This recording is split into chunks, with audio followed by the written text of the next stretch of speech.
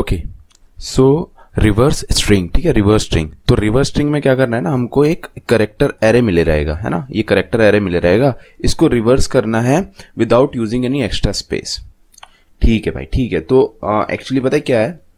जब ये क्वेश्चन पहले पूछा जाता था तो हमको स्ट्रिंग मिलती थी, है ना? स्ट्रिंग मिलती थी, और फिर हम उस स्ट्रिंग को करेक्टर में, इस वाले करेक्टर में कन्वर्ट करते थे, फिर कैसे करके सॉल्व करते थे। तो एक्स्ट्रा स्पेस तो हमें यूज़ करना ही पड़ता था ये, है ना? एक्स्ट्रा स्पेस ये यूज़ करना ही पड़ता था। तो इसलिए वो डायरेक्ट हमको अब की बार अब जो क्वेश्चंस में चेंज कर दिया उन्होंने तो वो करेक्टर एरे ही देते हमको स्ट्रिंग नहीं देते स्ट्रिंग नहीं देते। तो इसने कंफ्यूज मत होना कि रिवर्स स्ट्रिंग का मतलब क्या, यहाँ पे तो हमें करेक्टर एरे मिल रहा है, ठीक है? तो पहले स्ट्रिंग ही मिला करती थी, पर उन्हें समझ में आ गया कि स्ट्रिंग मिली है तो हम उसको बिना एक्स्ट्रा स्पेस के रिवर्स नहीं कर सकते। हमको यूज़ करना पड़ेगा एक करेक्टर एरो से आई मीन करेक्टर एरे में कन्वर्ट करना पड़ेगा। तो इसलिए अब हमें वो करेक्टर एरे देते हैं। तो ये क्वेश्चन का नाम थोड़ा सा कंफ्यूजिंग है कि रिवर्स स्ट्रिंग है ना? स्ट्रिंग नहीं मिलती एक्चुअली हमको इसमें। करेक्टर एरे ही मिलता है।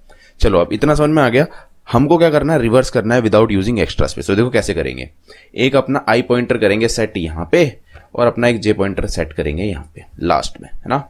और रिवर्स करे जाएँगे, है ना? रिवर्स करे जाएँगे। कब तक करे जाएँगे? जब तक हमारा आई जो है छोटा है जे से, है ना? ये ब्लू वाला ब्लू वाला जो है हमारा, ये आई है और ये जे है, ठीक है?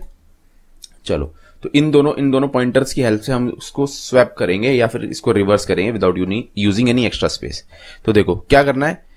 एक एक्स्ट्रा टेम्प वेरिएबल ले लेना है और स्वैप जैसे करते हैं सिंपल करेक्टर टाइप का है ये. तो आई पे क्या पड़ा हुआ है? सी तो मैं रख लूँगा सी को, ठीक है? उसके बाद क्या करूँगा मैं? जो जे पे पड़ा हुआ है, उधर क्या कर सॉरी जो आई पे पड़ा हुआ है, वहाँ पे मैं जे की वैल्यू डाल दूँगा, यानी यहाँ पे यहाँ पे मैं क्या डालूँगा? जो यहाँ पे पड़ा हुआ है। तो यहाँ पे मैं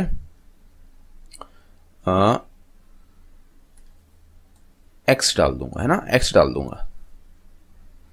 फिर मैं क्या करूँगा? मैं क्लेवर हूँ तो मैं यहाँ से इसके पास जो पड़ा हुआ है, वो टैंप से उठा के इसमें डाल दूँगा। तो टैंप में मेरे क्या पड़ा हुआ है? सी तो मैं यहाँ पे सी डाल दूँगा। है ना? अब मेरा काम हो गया, एक स्वैप हो गया तो मैं आई को एक से बढ़ा दूँगा जे को एक से कम कर दूँगा। ठीक है? फिर से मैं अपने टैंप में रख दूँगा जो आई पे पड़ी हुई है वैल्यू ठीक है? जे पे पड़ी हुई उल्टा स्वैप कर लो, आपकी मर्ज़ी है। तो यहाँ पे मैं डाल दूँगा ओ ठीक है? अब मैं फिर से स्वैप करूँगा। अब मैं फिर से कैसे स्वैप करूँगा? यहाँ पे आई डाल दूँगा, जो यहाँ पे पड़ी हुई है वैल्यू और यहाँ पे जो टैंप में पड़ी हुई है, वो डाल दूँगा डेट इज़ ओ डाल दूँगा यहाँ पे, है ना? अच्छे से कर देते हैं। ओ, ठीक है।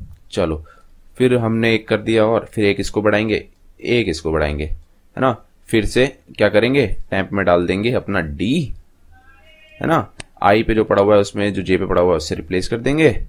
डेट इज़ बी डाल देंगे यहाँ पे। जे पे जो पड़ा हुआ है वो टैंप से उठा के डाल देंगे। डेट इज़ यहाँ पे डी डाल देंगे। ठीक है? फिर हमारा एक और स्वैप हो गया तो एक और बढ़ाएँगे, एक और बढ़ाएँगे। अब देखो आई जे सेम हो गए। आई जे सेम हो गए तो यहाँ रुक जाएँगे। या फिर आई जे तुम्हारे सेम हो जाएँगे, या फिर हो सकता है तुम्हारा जे छोटा हो जाए आई से तो इन दोनों केसेस में रुक जाओ, तुम्हारा स्वैप हो चुका है ना? या तो ये दोनों एक के ऊपर एक आ जाए, या फिर तुम्हारा जे पीछे चले जाए आई से छोटा हो जाए। तो यहाँ रुक जाओ, और यहाँ रुक जाओगे तो तुम देखोगे कि तुम्हारा जो करेक्टर एरे है, वो रिवर्स हो चुका है। नॉट द स्ट्रिंग जैसा कि क्वेश्चन में गिवन है। क्योंकि स्ट्रिंग होती थी पहले, इसलिए मैंने जस्ट तुम्हें बता दिया। ठीक है? तो ठीक है।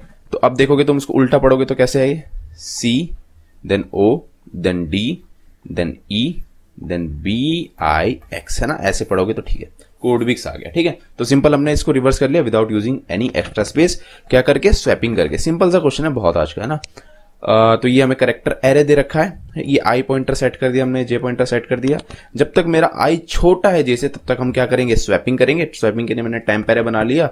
आई पे जो वैल्यू पड़ी है वो डाल दी। आई पे जो वैल्यू आई पे हमें क्या डालना है? जो जे पे पड़ा हुआ है। जे पे क्या डालना है? जो आई पे पड़ा हुआ है। सॉरी जो टाइम में पड़ा हुआ है। आई को एक से बढ़ाए जाएँगे जे को एक से छोटे करे जाएँगे। जब भी मेरा आई इक्वल हो जाए जे के, या फिर मेरा आई जो है बड़ा हो जाए जे के मेरे को रुक जाना है, इस वाइल लूप से बाहर आ जाना है, ठीक है? मैं स्वैप कर चुका हूँ, पर मेरी ये स्ट्रिंग रिवर्स हो चुकी होगी, ठीक है? तो सिंपल सा कोड था आई होप आपको समझ में आ गया होगा सिंपल सी प्रॉब्लम थी। तो इस वीडियो में इतना ही guys thank you so much for watching